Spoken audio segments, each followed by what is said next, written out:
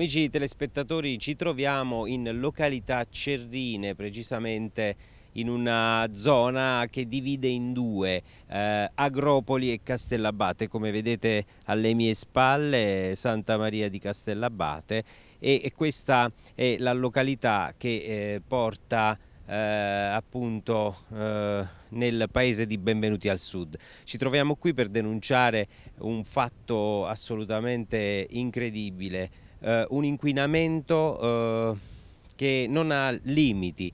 Eh, mentre eravamo per un'escursione, per delle riprese panoramiche nel raccontare le bellezze del territorio, che cosa abbiamo trovato?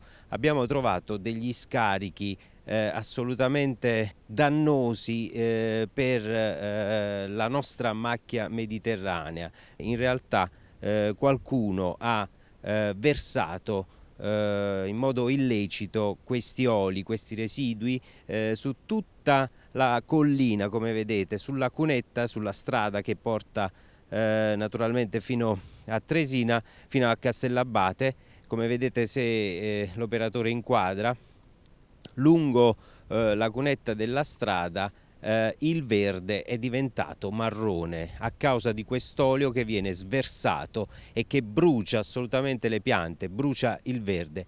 Ne è evidente, eh, come vedete dall'inquadratura di eh, questa pianta, che è chiamata mortella, come vedete da una parte la mortella è verde, da quest'altra parte è assolutamente diventata scura, è bruciata, è macchiata.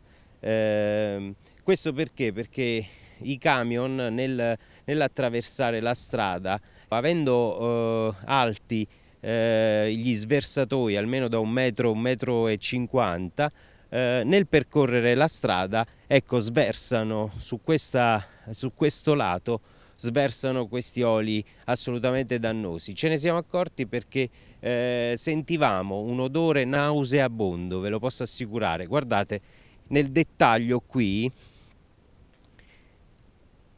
si tratta di uno sversamento, penso, avvenuto non eh, meno di 4-5 giorni fa. Questi oli causano una condizione assolutamente eh, eh disastrosa per eh, il nostro territorio e siamo rimasti davvero allibiti da questa assurdità in un certo senso. Perché ci chiediamo? Perché eh, dove ci sono effettivamente delle regole, delle leggi, non rispettare questo è uccidere la natura, perché è così che stanno facendo. Guardate, vi ripeto, durante tutto il tragitto e andando ancora avanti, noi andremo ancora avanti, eh, tutto questo eh, porterà man mano alla distruzione di questa eh, bellissima realtà che è il nostro territorio.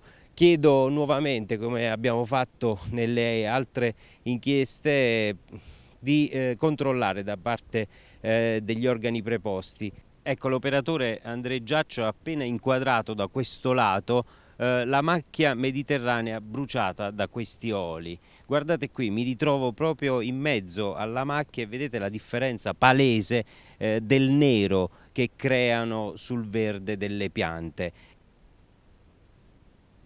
Ecco, io ho annusato eh, e mi dovete credere, c'è una puzza incredibile, un odore nauseabondo di olive, quindi è assolutamente assodato che questo materiale è un materiale di risultanza della macinatura di olive e può provocare un inquinamento maggiormente eh, più intenso nel momento in cui comincia a piovere perché se vedete dall'altro lato man mano ci sono delle macchie eh, tra eh, il verde e il marrone. Quello significa che col tempo man mano che scendono le piogge eh, quest'olio, questa risultanza eh, di rifiuto in realtà eh, scende giù e distrugge tutta la macchia mediterranea. È uno scempio eh, assolutamente incredibile. Mi auguro che eh, chi preposto venga subito a fare un controllo in questa zona perché stanno rovinando questo territorio. Assolutamente bisogna intervenire. Guardate, anche in, da quest'altro lato le piante ormai sono diventate scure e non è possibile, non è possibile che in una realtà così bella che è quella del Cilento ci siano persone così cattive e senza scrupoli. È talmente inquinante questo materiale di risulta che riesce a eh, macchiare anche le pietre. Vedete la differenza tra questo masso e l'altro più sotto, come vedete. Qua proprio eh, c'è stato uno sversamento enorme eh, di questi materiali inquinanti.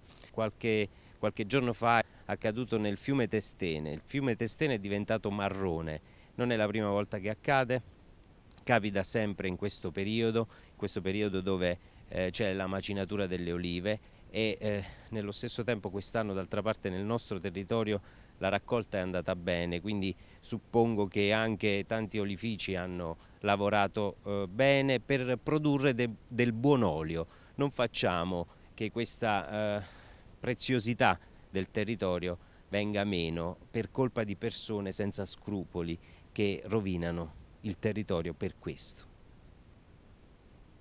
Questo è il percorso che l'olio, una volta sversato dalla strada, come vedete scende a valle e quindi percorre tutto questo tratto. Badate bene, sullo sfondo si vedono anche delle, degli animali, dovrebbero essere delle mucche che pascolano in quella zona. Immaginate se loro entrassero in contatto con questo materiale, che cosa succederebbe? Questo lo chiediamo a quelle persone che hanno sversato questi rifiuti in questa zona. È allucinante, davvero, tutta questa zona è inquinata da questo olio, che è la risultanza del rifiuto di un oleificio vi posso assicurare che affacciandomi ancora qui a valle ci sono altrettante macchie di questo olio eh, scuro eh, che in realtà distrugge la natura circostante. Ebbene, voglio chiudere questo servizio con eh, un appello ancora una volta a chi deve vigilare sul nostro territorio affinché possiamo preservarlo perché eh, non è possibile che al giorno d'oggi possano accadere scempi di questo genere alla luce del giorno oppure della notte, chi lo sa, perché non, nessuno ha ancora visto chi eh, in realtà attraversa questa strada per tre chilometri, badate bene, tre chilometri, eh, un inquinamento pauroso eh, e eh, man mano che siamo andati avanti qui ci troviamo a Tresino, eh, l'inquinamento, lo sversamento abbiamo visto lungo la cunetta parte da località Cerrine e per tre chilometri eh, tutto questo olio viene sversato fino ad arrivare a Tresino. Bisogna fare qualcosa, noi staremo sempre attenti e mi auguro che le autorità preposte prendano provvedimenti.